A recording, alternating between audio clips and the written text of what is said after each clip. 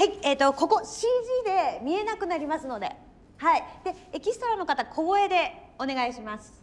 はい。はい、はい、よーいスタート。やっぱりやめる。やっぱりやめる？難しいね。適当に喋ってるふりしてくださいって。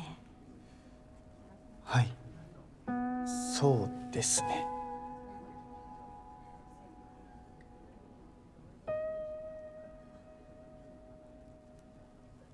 おととい夢野さんにお願いして飲み会を開いてもらったんです。夢野さんのお友達と僕の友達。3対3で。ああみたいだね。で昨日は僕の友達がバーベキュー大会を開くっていうんで参加しました女性が6人いました。そっか。出会い探し始めたんだね。よかった。やっぱり小野さんが言うことは間違ってました。他の女性と接してこなかったから好きだと思い込んでるだけだって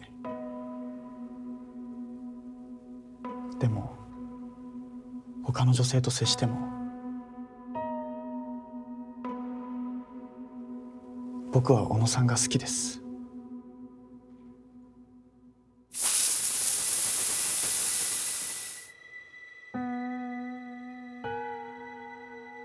お別れだしいいよ。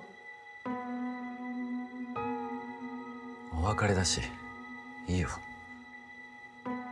そんな何かと少し接したぐらいじゃ。何百人と何百時間過ごしても同じです。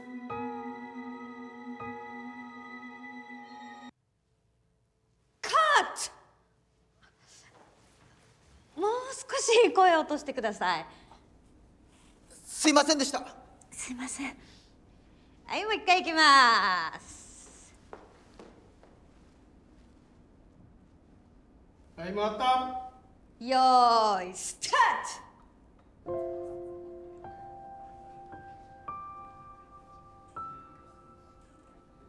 僕は小野さんと付き合いたいです。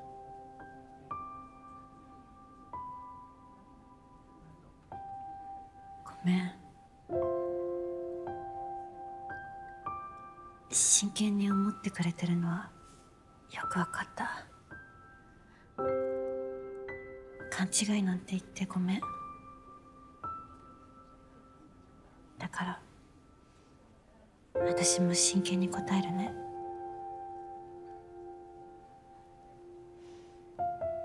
私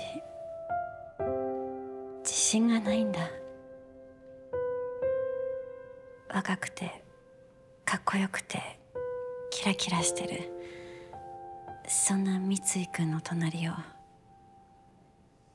こんな自分が歩く自信が。だから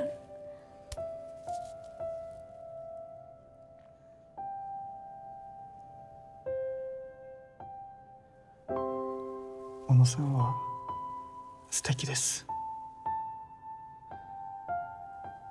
俺もっと魅力的な男になりますから。小野さんが夢中になれるくらい。余計なことを考える暇もないくらい。